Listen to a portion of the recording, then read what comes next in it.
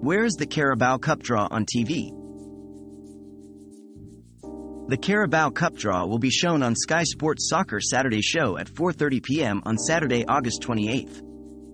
The draw will take place ahead of the day's Premier League fixtures and will determine the third round ties of the competition. Fans can also follow the draw on the official Carabao Cup Twitter account.